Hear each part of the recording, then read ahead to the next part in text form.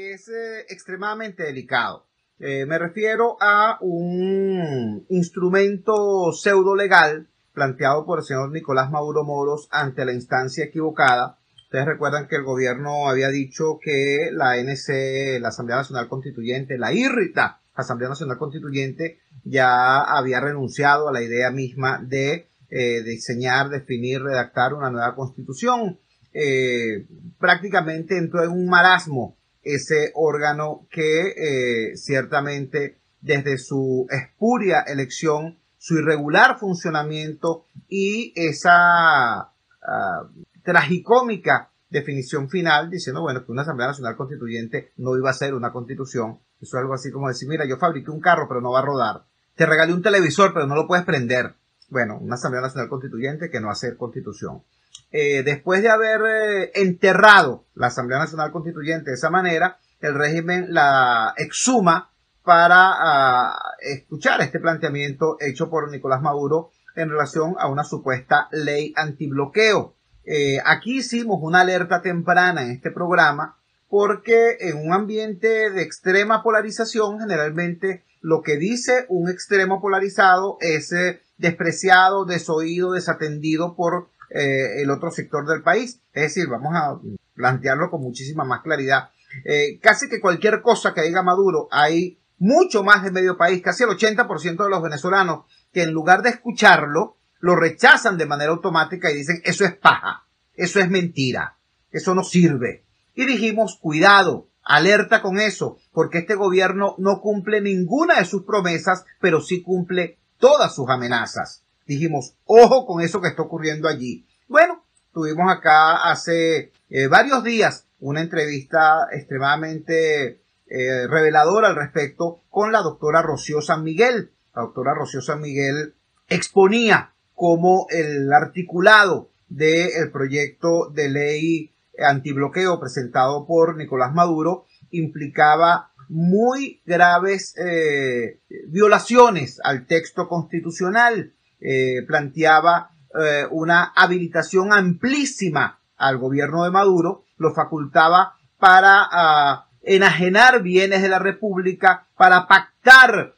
eh, contrataciones eh, eh, con terceros en la sombra, en silencio, en lo oscuro, sin ningún tipo de control en medio ya no de la opacidad, sino de la más total oscuridad. Bueno, eso pretende hacerlo legal esa uh, fulana ley antibloqueo. También las personas uh, que integran la uh, organización no gubernamental Acceso a la Justicia hicieron un alerta público en relación a ese tema. Bueno, esta, este rechazo no se circunscribe a la academia o a la posición política. Incluso dentro del ámbito del oficialismo hay severas críticas a este eh, documento. Comparto con ustedes algunos comentarios que eh, aparecen en el portal de noticias La Ceiba. Dice así, Constituyente María Alejandra Díaz es contraria a la ley antibloqueo. Su posición aparece expuesta en un artículo en el portal chavista Aporrea titulado Ley Antibloqueo,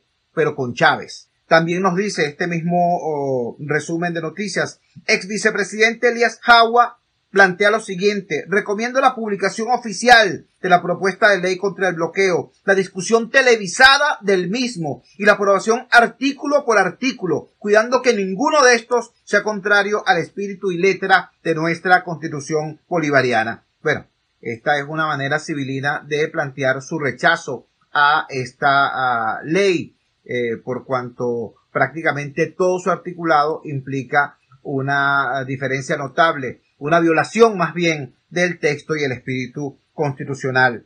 Finalmente nos hablan acá de un tema que ya habíamos comentado acá en la Fuerza de la Unión. Eh, Luis Brito García, un eh, intelectual próximo al chavismo, cuestionó la constitucionalidad de la ley antibloqueo en un extenso artículo publicado en Aporrea, lo que abrió un duro debate dentro de las filas revolucionarias. Esto es importante eh, decirlo, porque, fíjense, en primer lugar, desde el ámbito del chavismo siempre hay un uso y abuso de toda la información que surge sobre los eh, matices, diferencias o encontronazos que hay eh, en el campo opositor. Ellos hacen fiesta con eso que ocurre pero generalmente lo que ocurre al interior del bloque oficialista eh, es desconocido. Ellos juegan cuadro cerrado prácticamente en casi todas las materias hasta hace un tiempito.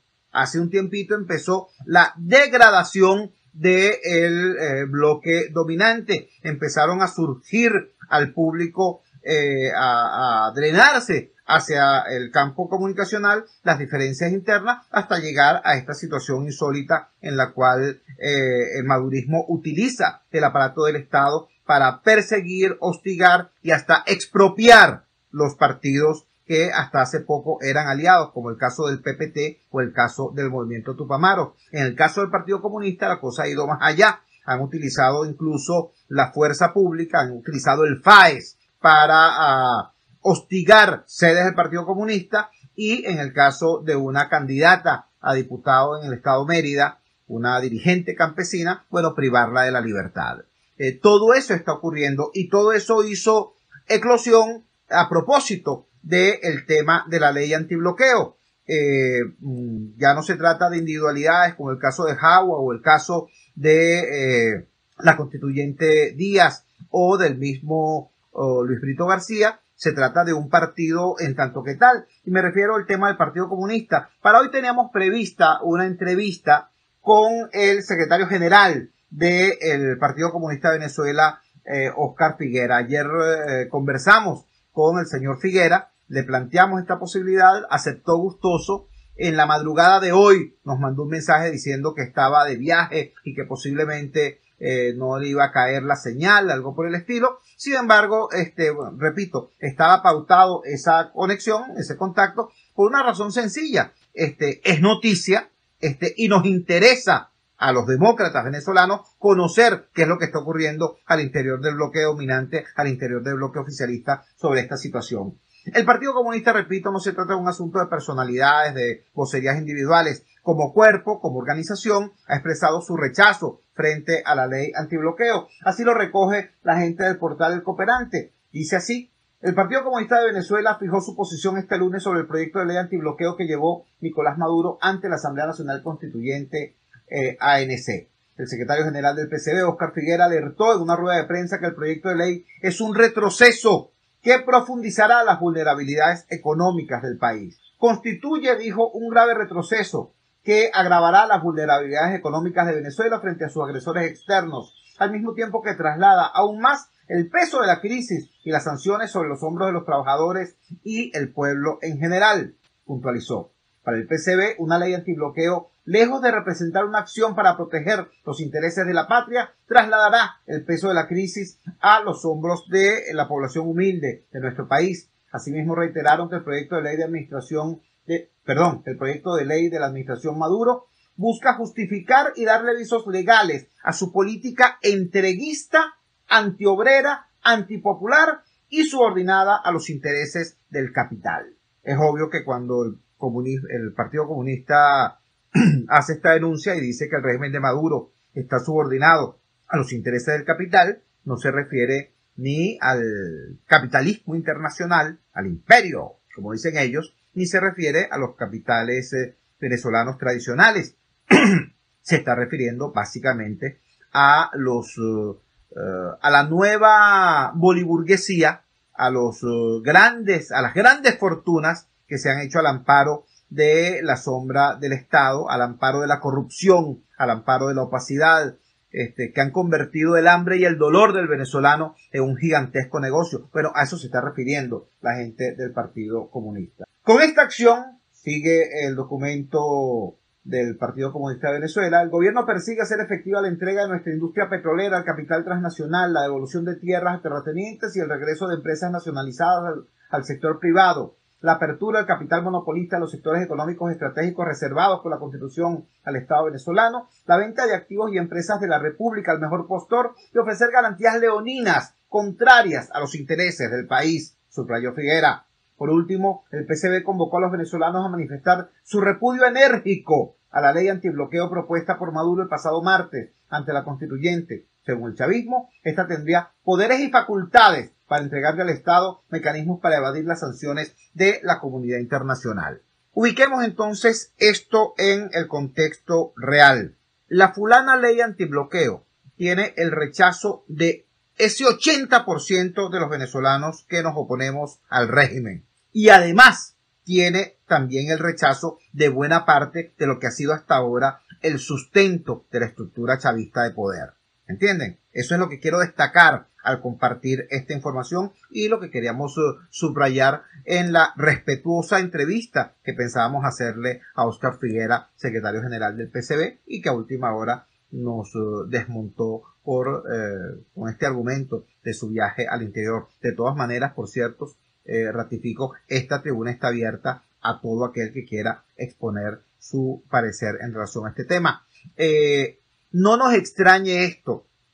Eh, repudiamos la ley antibloqueo por razones muy distintas, pero coincidimos en el repudio. Nosotros, los demócratas, decimos, viola la constitución, permite, promueve y supuestamente legaliza la opacidad, los negocios oscuros, los negocios hechos en trastienda, con los bienes de todos, con la vida y el futuro de todos.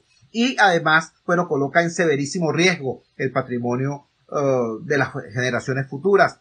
Eh, los señores eh, de la izquierda chavista y concretamente del PCB tienen otro tipo de eh, críticas. Ellos tienen sus resabios a propósito del tema de la devolución de la supuesta devolución de empresas a sus antiguos propietarios o la desnacionalización, entre comillas, de empresas estatizadas. Esa no es la crítica que hacemos nosotros. Nosotros creemos que los peligros son otros, por cierto. Yo no veo a este régimen entregándole eh, ni fábricas, ni propiedades, ni tierras a sus legítimos dueños.